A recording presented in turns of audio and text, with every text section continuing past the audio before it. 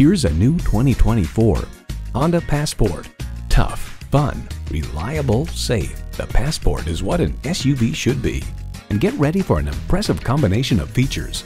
Automatic transmission, front heated leather bucket seats, integrated navigation system with voice activation, auto dimming rear view mirror, dual zone climate control, inductive device charging, streaming audio, express open and close sliding and tilting sunroof, doors and push button start proximity key, and V6 engine.